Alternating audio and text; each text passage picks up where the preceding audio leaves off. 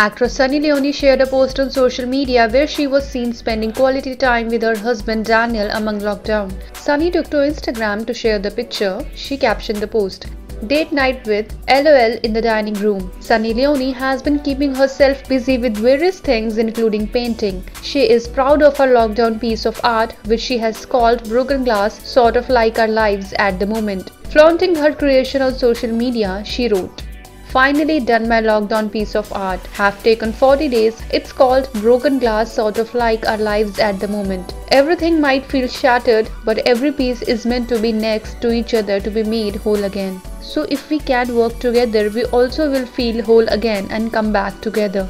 Love you all. IANS Report